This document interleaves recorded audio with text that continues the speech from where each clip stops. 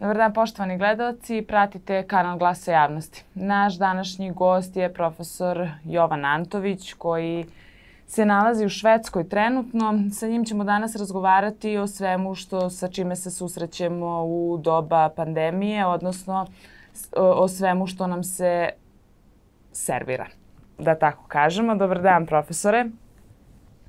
Dobar dan, hvala na pozivu. Hvala vama što ste se odazvali. E, s obzirom da s vama možemo da razgovaramo ceo dan na, na ovu temu, ja bih da, da nekako to e, pređemo na ono, na ono što je trenutno aktuelno i a, što je mnogo bitno. E, pokrenuta je peticija protiv diskriminacije i e, prinude da se deca vakcinišu. E, da li možemo da krenemo od toga samo da, da vi eto objasnite o čemu se tu zapravo radi i zbog čega je same peticije u stvari pokrenuta? E, ja najpre moram da kažem zbog toga što nemaju samo kolegi u Srbiji problem kad idu protiv medija glavnog toka, nego čak i ovde, samo što ja imam takvu sreću da su moji šefovi vrlo e, pozitivni ljudi, otvorenog uma i koji razumeju šta su akademske slobode ali u svakom slučaju ja moram na početku da kažem i reći što to je na engleskom, ja se izvinjavam svojim e, vašim sluša, e, gledalcima da bi sprečio da posle prevode ovaj tekst. E, ovo je isključivo, ovo sve što ću izneti u današnjem razgovoru je isključivo mišljenje mene kao individue, kao čoveka koji je 30 godina lekar. Ja sam osnovi hematolog i internista, ali praktično 15 godina radim u kliničkoj laboratoriji i vodim praktično diagnostiku poremećaja dešavanja krvi u Stokholmu. I kao istraživača, ja ne volim sebe da nazivam naučnikom, ja mislim da je to malo pretenciozno reći za sebe da si naučnik, koji se 30 godina bavi istraživanjima i koji radi recenzije za velike svetske časopise iz oblasti iz moje oblasti i kao takav mislim da iako nisam virusolog, epidemiolog niti infektolog, imam pravo i mogućnost da baratam medicinskom literaturom. I sve ono o čemu ću danas pričati je u stvari e, bazirano na podacima koji su dostupni i koji se nalaze na slajdovima koje mogu svakom poslati. Međutim, ono što moram da kažem, to je klasičan, e, klasična objava, odnosno ono što englezi zovu disclosure, da ovo o čemu ja pričam ne neophodno ili ne uopšte odslikava stav moje e, mog poslodavca kako na kliničkoj tako i na institutskoj strani. I sad se izvinjam, moram to da kažem i na engleskom. This is just my personal opinion as a researcher and a medical doctor and it's not necessary uh, correspond to opinion of my employer both on clinical and institutional side.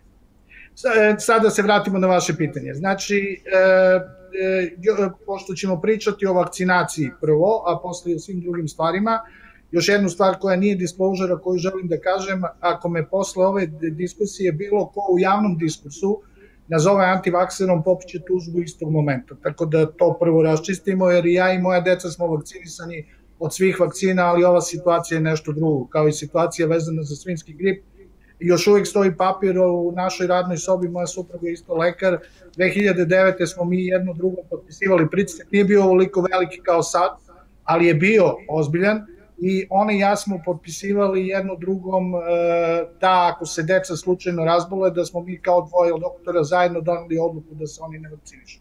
Možda smo na taj način sprečili da budu jedno od 500 dece koji su u Švedskoj dobili narkolepsiju posle vakcinacije E, I da konačno ja kao svi profesori mnogo pričam, da se vratim na vaše pitanje, znači ja nisam direktno uključen u grupu e, koja je krenula sa ovom peticijom, jer ja prvo, znači zato što sam u inostranstvu, a drugo zato što ja u principu ne volim da budem član bilo kakve grupe, e, ali sam, čim su me moje kolege, koji naravno znaju e, moje, moje mišljenje i moje stavove, jer praktično od aprila prošle godine kada je ovaj haos počeo, ja moram da kažem da uglavnom sam zadržao manje ili više iste stavove. I to je ono što me čini jako srećnim, da ne koristim izraz ponosan jer trebamo se čuvati gordosti, e, e, da e, tad je to bio osjećaj u stomaku i zdrav medicinski rezon, krajem godine to već bio masa podataka, a sada sam potpuno ubeđen da sve to o čemu smo ja i neki kolege pričali od početka da smo bili u pravu.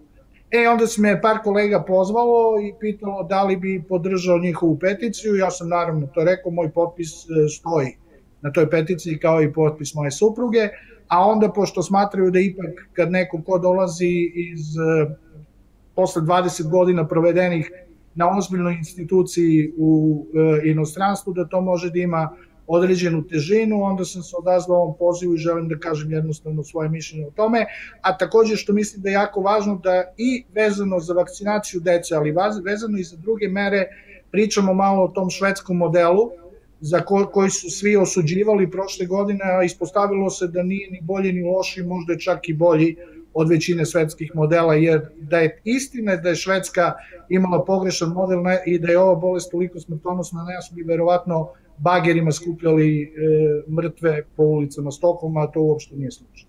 Tako da je to poenta, a sada možemo u detalju.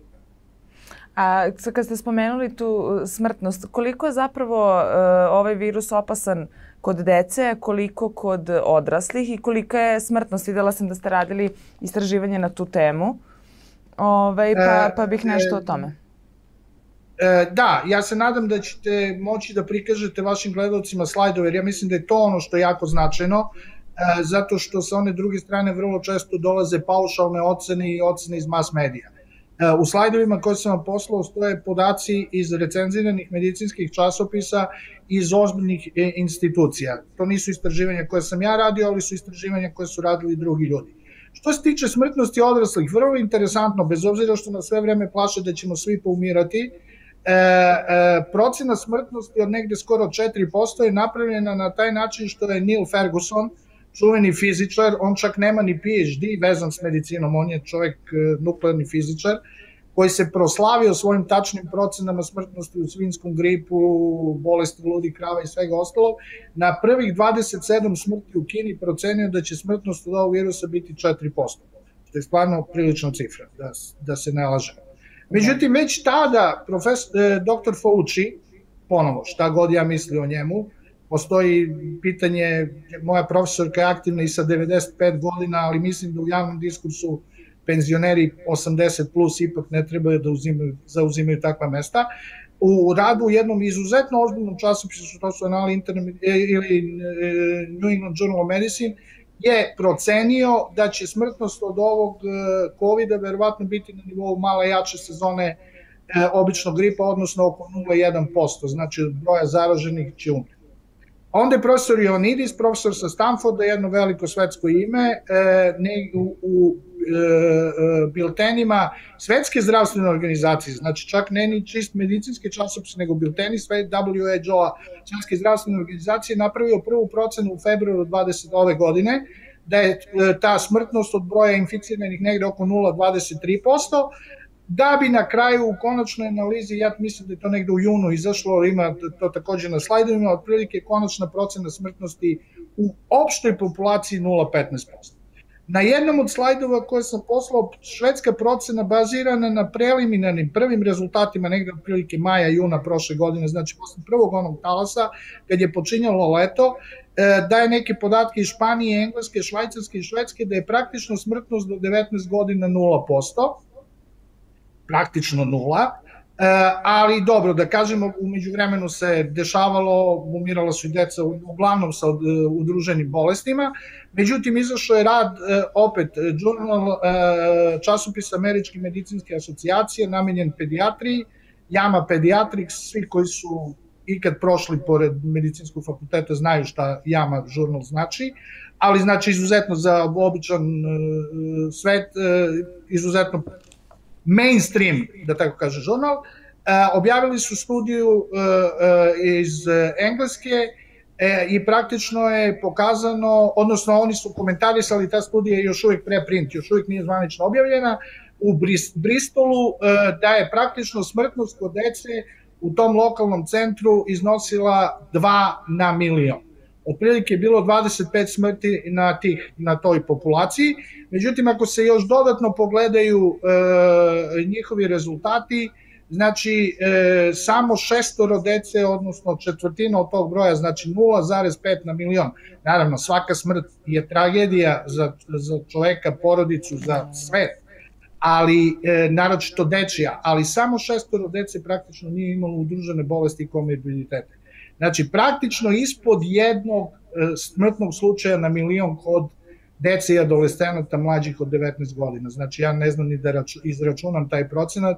U tom e, radu se takođe navodi da praktično deca se oporavljaju bez sekvela i komplikacije u 99,9995% slučajeva, čak i ako se zaraze COVID.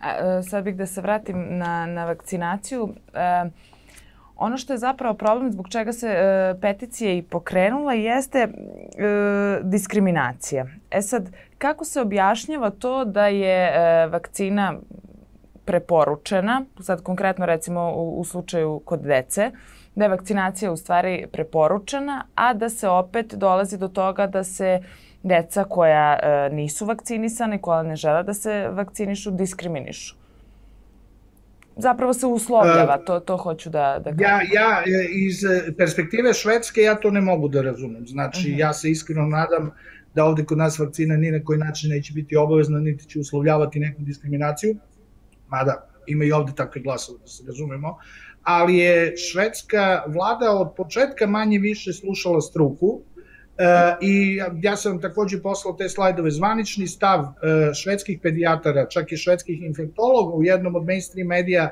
Dagens Nyheter, takozvane dnevne novine, ja sam to čak i prevodio na srpski, je e, stav infektologa da nije zadatak dece da štite roditelje. Znači da vakcinom koja da u principu decu koje imaju izuzetno mali rizik od oboljenja, naravno govorimo o tome ako nemaju udružene komir, ozbiljne komorbiditete, imunodeficijentne sindrome, teške oblike diabetesa i toga, to, to, to je neka potpuno druga stvar, ali zdravu decu čiji je rizik da obole i ne daj Bože da budu teško bolesni ili umru e, od covid praktično zanemarljiv, vakcinisati da bi se navodno zaštitilo društvo, što opet nije slučaj. Znači, ponovo prikazite slajd profesor Pollard e, iz e, Oxforda koji je radio na vakcini AstraZeneca, koji je jasno i glasno rekao, to je prenuo BBC, znači, volao bi da fact checkeri proveravaju ovo što pričam, To je verovatno jedan od razloga što me još uvijek ni, ni, nisi jednog intervjua nisu skinuli, možda će ovaj biti prvi ako nemate sreće. Znači on je jasno i glasno rekao, čak i ako vakcinišemo svu decu, to neće dovesti do prekida prenosa infekcije, to neće dovesti do imuniteta krda. Ja mrzim taj izraz imunitet krda, but kolektivnog imuniteta. Znači, mi očekujemo da vakcinišemo decu čiji je rizik da se sami razbole izuzetno mali, nečim što je uslovno uh, pušteno u promet, znači ono što direktno stoji, ja bih vas molio isto kada e, ovo ide u, u, u etar, da pustite ta, taj slajd, znači juče ponovo proverio da mi se ne bi potkrala neka greška, znači juče na sajtu, e, sajtu EME, EME, EMA je e, Evropska medicinska agencija, znači još uvijek stoji da su sve vakcine koje su odobrene u Evropi, one praktično nisu odobrene, one samo imaju uslovnu uh, urgentnu uh, marketinšku autorizaciju. To u prevodu znači da su uslovno zbog urgentnog stanja puštene u promet. Znači, nema govora o tome da su vakcine zvanično odobrene kao neki drugi lekovi i naravno postoje jasni podaci da se očekuje da zvanično puštenje, odobrenje bude tek 2023. Znači, Moje mišljenje je, ako sam sa suprugom sede i pisao, na svu sreću moja deca su dovoljno velika, pa mogu da donesu odluku da li će primiti ili neće primiti vakcinu, ja se nadam da će doneti pametnu odluku ili neće primiti, e, ako slušaju opsa, ali da, da imam decu mlađu od 15 godina, znači ja ne bi imao nikakvu dilemu da po cenu toga da ih ispišem iz škole, da im ne dozvolim da primim vakcinu. A baš sam ta, to je bilo zapravo moje sledeće pitanje oko odobravanja vakcine. E, šta, dokle je stiglo to odobravanje vakcina? A, ja ne znam, zato što ja nisam uključen u te regulatorne stvari, ali kažem vam, znači, jednostavno pustite taj slajd, ne znam tačno koji je to broj mhm. slajda, vidjet ćete EMEA, znači jasno stoji da su sve vakcine samo uslovno puštene u promet. Neko ko možda zna bolje engleski od mene, može da to tačno prevede emergency marketing, uh, conditional emergency marketing authorization. To upravo u prevodu znači uslovno uh, urgentno odobrenje za puštanje u promet. E, što znači da ovo što se sada dešava nisu postmarketinške studije. Ja sam čak danas ili juče vidio u švedskim novinama, mnogo se priča o Izraelu, gde je skoro 70% populacije vakcinisano, gde sad ponovo imamo novi talas iz otvaranja. Čak zvaničnu informaciju, žao mi je što to nisam snimio, E, to je jedna od stvari gde mi može da se veruje na reč. Ovo sve ostalo što sam do sad pričao stoji s jasnim podacima, ali u švedskim novinama je stalo prenešeno iz, ja mislim, iz Associate Pressa ili nekog, Zašto je Izrael tako brzo vakcinisan? Zato što je dobio od Pfizera neograničenu količinu vakcina zbog toga da bi skupio epidemiološke podatke o efikasnosti vakcina i eventualnim neželjenim dejstvima i komplikacijama. Znači, firme praktično koje su proizvođači vakcina još uvijek skupljaju podatke o njihovim efektima i e, podatke o, o, o potencijalnim komplikacijama. A, takođe ima tu još nekih slajdovi, jedan od odavde naših kolega iz Švedske, jedan iz takođe britanskog medicinskog žurnala, njihov e, e, jedan od pomoćnika glavnog urednika, koji negde u februaru, martu mesecu govori da studije koje, su, e, koje stoje iza tog procesa odobravanja, koje su, e, čiji su rezultati poslani, praktično nisu ni jednog momenta bile napravljene da pokažu da li vakcine smanjuju smrtnost i ono što je još mnogo važnije što sada definitivno znamo da li smanjuju širenje zaražavanja i zaražavanje među populacijom. Pa baš to sad kad ste spomenuli e, model Izraela, model, odnosno kolektivni imunitet koji su oni, koje je zapravo trebalo da, da ostvare, E, sada kod njih je otprilike najgora situacija od početka pandemije.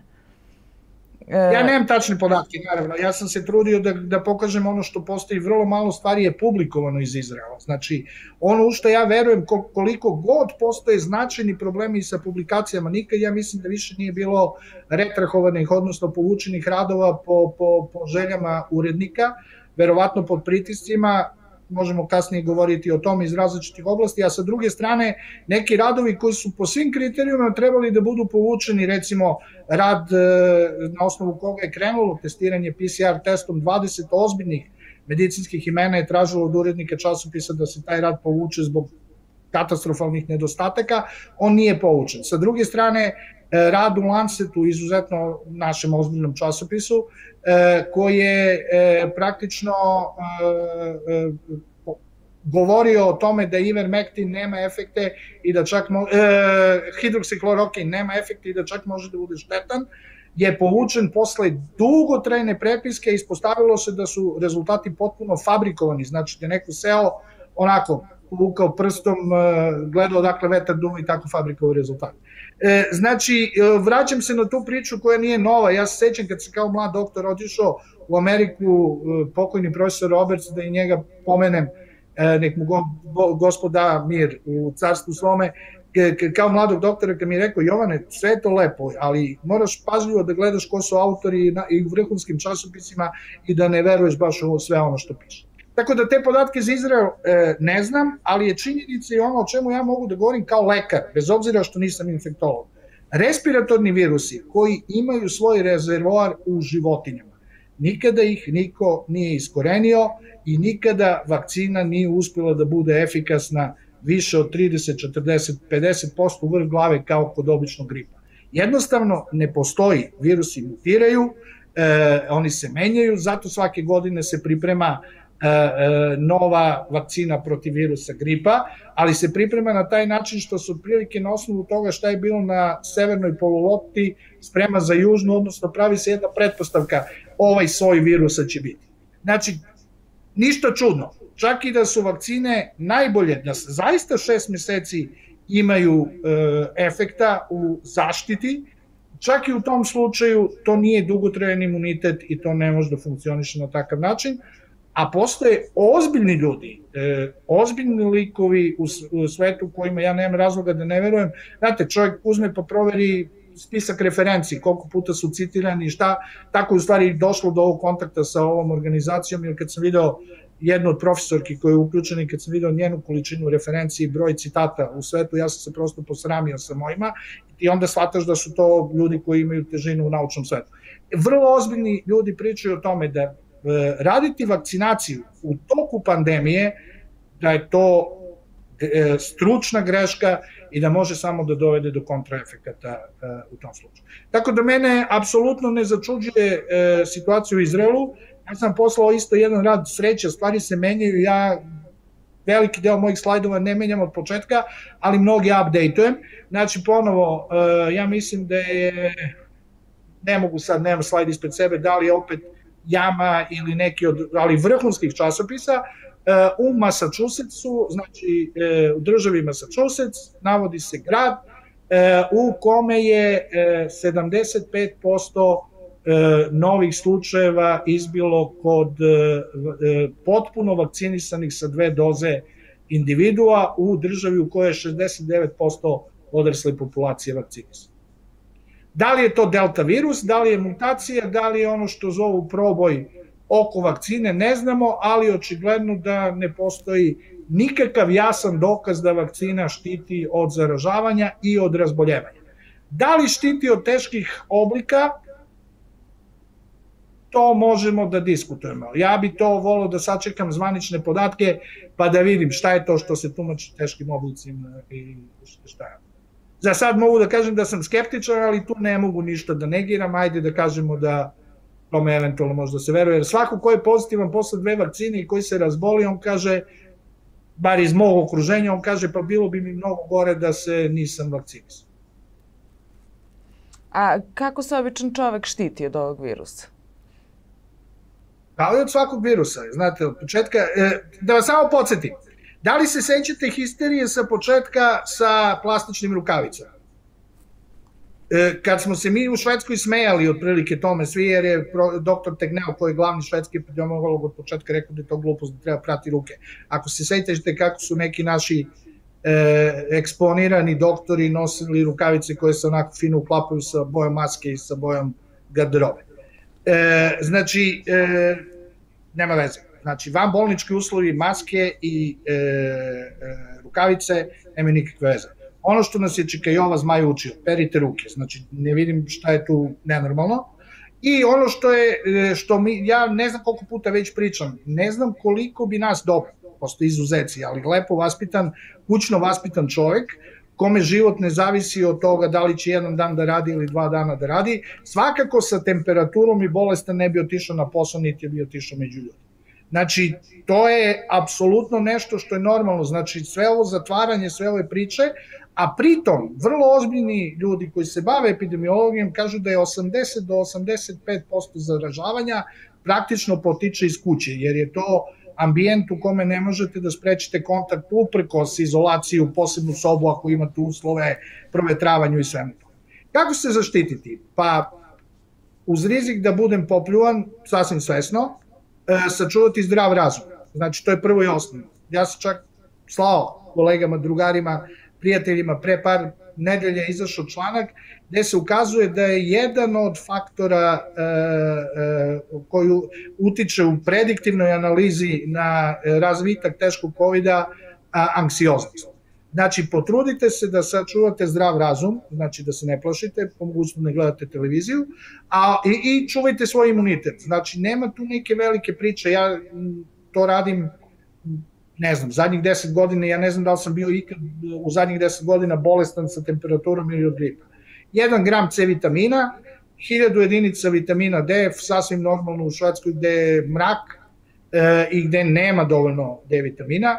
E, cink je ono što se pominje i u sav rizik da ponovo budem e, iskritikovan, ali ja u kući imam hidroksiklorokin i ako e, apsolutno verujem profesoru Peteru Mekali, e, isto čovjek koji ima preko 600 referenci, koji je trenutno jedan od najomraženijih ljudi u Americi zbog toga što ide i priča istinu, ali njegov rad isto iz žurnala Američke medicinske asocijacije o ranom tretmanu covid je najdownloadovani rad e, u poslednjih, ne znam, pet godina, e, gde on govori o tim ranim tretmanima. Znači, prevencija kod mlađih od 50 godina bez faktora rizika, stariji od 50 godina sa faktorima rizika, Ja recimo, pošto sam gojazan, onako ja bi verovatno ne spadam u faktore rizika, ali bi neki, o nekim stvarima trebao da vodim računa. Ja sam to rekao od početka, od praktično aprila prošle godine. Da preko dva dana imam temperaturu preko 38, ja bi bez razmišljanja uključio hidroksihlorokin. Mi nemamo mogućnosti za ivermectin u, u, u Švedskoj. E, ivermectin je isto pokazao jako dobre rezultate. To je ono što ljudi treba, treba da rade i u principu e, na taj način opet izvod. Profesor McCall e, preko 85% ljudi čak i sa ozbiljnim osnovnim bolestima može da se uspešno izleči kod kuće bez toga da dođe u bolnicu jer bolnica, respirator i sve to drugo to sad nosi e, druge probleme i jako mali broj ljudi se izleče i skine sa respiratora ako dođe do njega. Znači maske nam u principu ne znače? E, znate kako ovde u Švedskoj se priča, oni, u Švedskoj nikad nije bilo uh, naređivanja, uvijek su bile preporuke i maske su bile jedno vreme preporučene da se koriste u javnom prevozu, vidjet ćete ljude na ulicama, ali ja mislim da nikad ni u vreme najgore situacije, recimo 20, negde tamo februara ove godine, više od 20% ljudi nije imalo masku u javnom prevozu. E, doktor Tegneo kaže maske mogu da budu čak i kontraproduktivne da se ljudi opuste. Poslao sam vam studije, pet ili šest najmanje uključujući Cochrane, to je baza podataka bazirana na studijama, maske niti štite ono ko ih nosi, niti štite ono ko ih, e, e, koga bi trebalo da štite od onog ko ih nosi.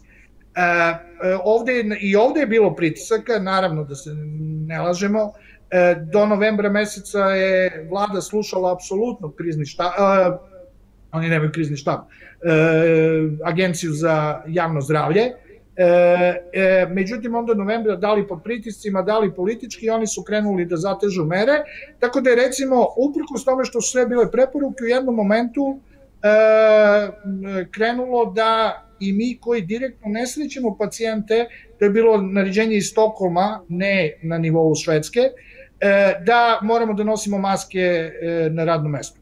Znači sam ja rekao da po cenu otkaza neću, ja sam ipak ludi srbin, e, i kad znam da sam u pravu, onda ne, ne, ne, ne, ne slušam to. I onda pričao s mojim šefom i rekao koliko koraka je do otkaza, on je rekao otprilike šest, ja sam rekao dobro, onda se vidimo na e, sudu za radničke prava, ako dođe do toga, naravno nije došlo. Tako da, e, znači, moje apsolutno mišljenje, ja, ja stav, kad sam bio u Srbiji, ja stavljam masku zbog ljudi koji su u prodavnicama da ne bi morali da plaćaju kazne i e, u avionu, naravno, stavim masku jer me ne bi primili, e, zato što nemam živaca da e, teram do nekog suda i da tražim svoja prava, a verovatno bi dobio na sudu, ali u ne daj Bože slučaju da me neko prisiljava na vakcinaciju, bio bi bez sekunde razmišljenja spreman da idem na sud. Jer sa ovim dokazima medicinskim koje imam, znači mi smo učeni da se bavimo na dokazima zasnovanom medicinom, ne mislim da čak i neki, e, osim ako nije ekstremno korumpirani sudija, da bi mogo da donese bilo kako drugačije. E, malo pre ste spomenuli da treba sačuvati zdrav razum. E sad, e, ljudi su, to, pokazale su ovaj, to i neke studije, e, da su ljudi masovno za vreme lockdowna, recimo mislim da je Nemačka bila ovaj, konkretan primer, e, postali agresivni, e, naravno anksioznost i sve to što dolazi. Da li mislite da je lockdown e, jedini razlog o tome e, ili prosto čitava, čitava ova situacija da doprinosi da ljudi prosto ja nisam psihijatar, niti psiholog. I nisam baš nešto mnogo volao psihijatriju kad sam studirao. E, možda su to bolji sagovornici za vas. E, opet iz švedske perspektive mi smo zaista delovali kao centar slobode i demokratije, e, pa smo opet imali ljude oko nas koji su bili e, izuzetno e, e, pod izuzetnim stresom, jer varijant, ne samo lockdown kao lockdown, nego varijanta toplo-hladno. Zategni pusti, zategni pusti, E, kontradiktorne informacije. Ja zaista verujem da uopšte u svetu, ne samo u Srbiji, ja čak bez obzira što sam prilično informisan onome što se dešava u Srbiji, nisam toliko kao recimo u Švedskoj, ali ja čak zaista mislim da kontradiktorne informacije koje dolaze od ljudi koji sede u istim organima upravljanja i ovo nisu slučajne, znači niti su oni glupi, niti su neobavešteni, nego mislim da je to isto jedna, jedna, jedna mera psihološke presije. E, jedna od stvari koju su šveđani procenili, opet, postoji jedna fenomenalna knjiga, ja zaista nisam prevodilac, a i ako sedem nekada pišem, sve ću pišem moje knjige, ne da prevodim švedske, švedskog novinara, takozvani Floken, odnosno taj e, krdo, odnosno imunitet, e, koji govori o tome šta se dešavalo, opisuje to dešavanje u Institutu za javno zdravlje, sve ono što je bilo iza scene, poteze vlade. Ja sam celu knjigu čitao s idejom da će on da jednog momenta krene da onako kritikuje Tegnela, doktora Getskija, profesora Getskija i sve to. Međutim, do kraja knjige on je bio pozitivan prema njima. Oni su se držali medicine zasnovane na dokazima, pravili procene da ako naprave lockdown, prvo to ne može da traje dugo, znači ne možeš ti da držiš ljude duže od dve nedelje, mesec dana zatvorene, a drugo, e, šta će se desiti sa porastom nasilja u porodici, sa porastom alkoholizma, sa porastom broja samoubistava i sa svim. To je bila njihova jasna procena ponovo na jednom od slajdova koje vam šaljem vezano za decu, e, to je fenomenalno, to je najbolja rečenica koja je meni u avionu ili putu iz Beograda izazvala suze, ja sam mator čovjek, ne, ne, ne dešava mi se baš tako često da, da mi se to desi, gde profesor Getske kaže, jasno i glasno, ja sam to prevao sa švedskog na srpski, e, procena, jedan od razloga zašto su švedske škole radile Moja čerka je trenirala, prvo je bilo dozvoljeno treniranje napolje, onda je krenulo za mlađe od 16 godina i unutra, je upravo bio taj u toj njegovoj rečenici kad je on rekao e, moj život je manje vredan od života mojih unuka i ne samo mojih unuka, nego sve dece. E, to je upravo bila procena. On ima čovjek 71 ili 2 godine, to je ta procena koju mi zaboravljamo. Svaki ljudski život je vredan, ali u relacijama kad neke stvari moramo da merimo, životi naše dece i njihov normalan život, normalno školovanje su svakako vredniji od naših koji smo proživeli dobar deo tog života, a naročito u konstelaciji s nekom bolešću koja je zaista, to, to sad slobodno mogu da kažem, ni približno nije toliko smrtonosna koliko su nas.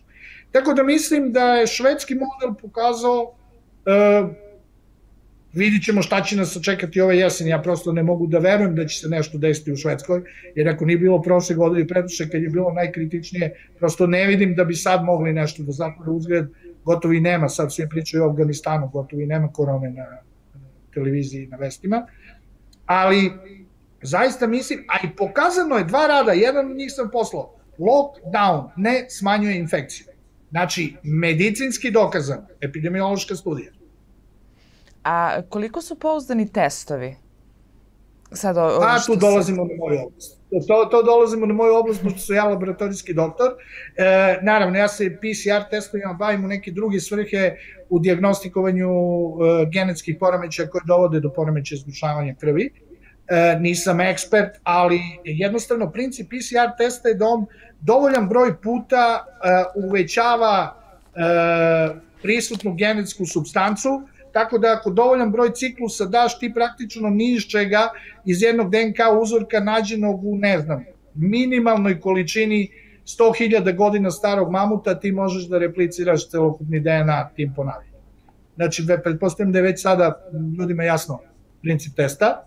E, e, jednostavno, znači, da ne idem opet, od početka pričam, prvi rad e, Kineza, e, kineska studija koja je opet bila volšebno povučena sa Medline-a sa naših baza podataka, dokazali da čak u 80% testovi mogu da budu lažno pozitivni. E, pa je onda nekoliko radova, 50%, 50%, onda izašla Australijska grupa za laboratorijske, znači vladina, zvanična vladina organizacija za laboratorijske testove sa podatkom da testovi imaju specifično, znači mogu da budu tačni i da ne budu lažno pozitivni, u 99% slučajeva u jednoj populaciji gde je najmanje 20 ili po nekim ozbiljnim autorima 50% ljudi bolesno. Ali u asimptomatskoj populaciji, ako krenete napolje da testirate sad, njihova specifičnost je ispod 5%. Znači, samo 5% pozitivnih testova je stvarno pozitivno. Stoji, napisano. E, e, izašao, sa istim podatkom izašla Svetska zdravstvena organizacija u aprilu ove godine. E, u februaru ove godine. E, e, specifičnost testova, tačnost testova se smanjuje sa brojem, e, sa smanjenjem broja slučajeva u populaciji. Upravo to što su i australijanci rekli. Znači, ako imate na jednom brodu 50% obolelih, onda će zaista testovi da tačno pokažu pozitivnost u 95 ili 97 ili 99%. Ali, ako to isto radite u populaciji gde je samo 10-5% ljudi zaista zaraženo, ti testovi će pokazati E, lažno, biti lažno pozitivni u 95% slučaja. Znači, to je bio razlog da je 21. juna uh, uh, američki CDC izašao sa tim da ne treba testirati asimptomatske pacijente. Da, testiranje treba fokusirati samo na ljude koji su imali kontakt sa dokazani, sa onima koji su dokazano imali COVID ili dok, e, sa ozbiljnom sumnjom na COVID. Znači, isto to teorijski, opet, ja nemam živaca da se svađam kad hoću negde da putujem, e, kad hoću da dođem u Srbiju, pošto ne mogu da sedem 10 dana u karantinu, onda dođem kao strani državljan i testiram PCR testom, e, ali taj PCR test u suštini nema apsolutno nikakve e, veze i on ne može da bude nešto što, ako, opet ako ste primetili, ne priča se o broju obolelih, priča se o broju inficiranih. Znači, prva e, stvar, e, marta prošle godine aprila, zaključavanje, bit će enorman broj umrlih. Pa onda kad smo videli da ipak to nije tako, onda je bilo, bit će enorman broj hospitalizacija, to zdravstveni sistemi ne mogu da izdrže. Onda smo videli da masa bolnica stoji prazna, bez obzira na sve. Pa je onda kad je sve ovo prošlo i kad se vidi da je stopa smrtnosti tu gde jeste, e sada pričamo o e, zaraženima. A ta priča o zaraženima je verovatno, ovo je moja paušalna ocena, ali verovatno u 80% slučajeva e, asimptomatskih ljudi koji dobiju nalaz pozitivnog nalaza na testu, koji u principu bez bolesti ništa ne znači. Ima takođe u tom nekom od mojih prvih intervjua e, pozitivan e, ne znači e, bolestan. Znači, bolestan je onaj ko mora da ima određene simptome, a naročito oni koji su teško bolesni. Znači, smatram da cela priča oko testova, naravno, kao i sve ostalo u celoj priči prenaduvana do krajnjih granica.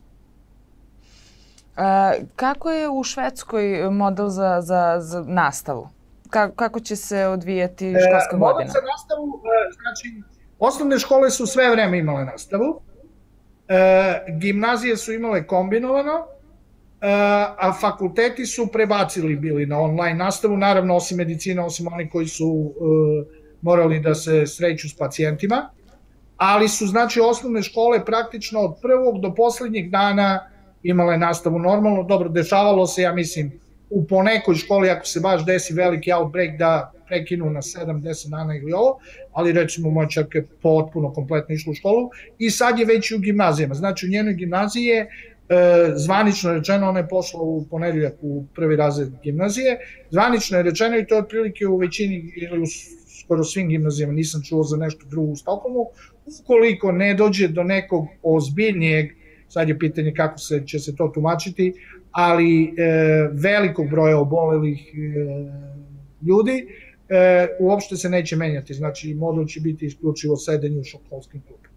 Što ja apsolutno mislim da je jedina istina, jedina prava stvar, jer mi smo već izgubili, mi, e, ja svakog termina imam novu generaciju na medicinskim studijama, mi smo ove dve generacije izgubili, mislim, to preko interneta, to je apsolutno, za mene jako lagodno.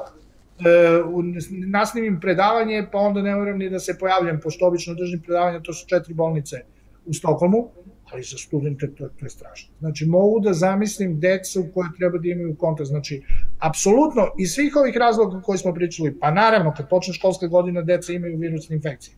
To je bilo od kad je e, savremeno društvo. Deca dođu u školu, onda su svi bolesni, onda malo donesu kući i ovo. Ali ako ne šaljete bolesno dete u školu, onda je mala mogućnost da, da, da zarazi nekog drugog. Tako da, nemam dilemu, ponovo mislim da je švedski model dobar. Da ne pretaram s glorifikacijom, ima i švedska smo loše strane, naravno, ali u ovoj pandemiji su se pokazali dobro, svakako.